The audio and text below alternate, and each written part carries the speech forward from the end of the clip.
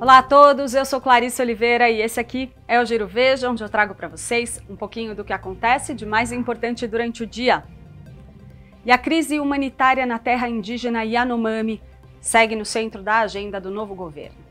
O presidente Lula fez hoje uma reunião de emergência com vários ministros para decidir algumas medidas que ajudem a dar uma resposta para essa situação dramática que está sendo vivida pelos indígenas na região de Roraima.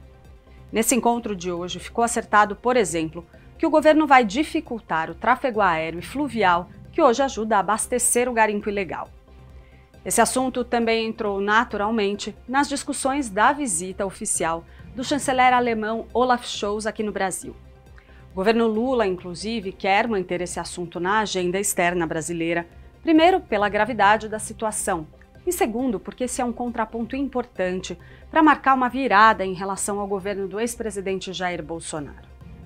Hoje, mais cedo, a ministra Marina Silva anunciou que os recursos do Fundo Amazônia vão ser usados para combater essa crise atravessada pelos povos Yanomami, o que inclui uma nova doação anunciada pela Alemanha, no valor de 200 milhões de euros.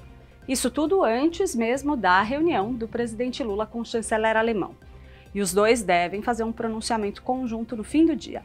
Você pode conferir mais informações sobre esses e outros assuntos lá em veja.com ou eu volto com vocês amanhã com mais um Giro Veja.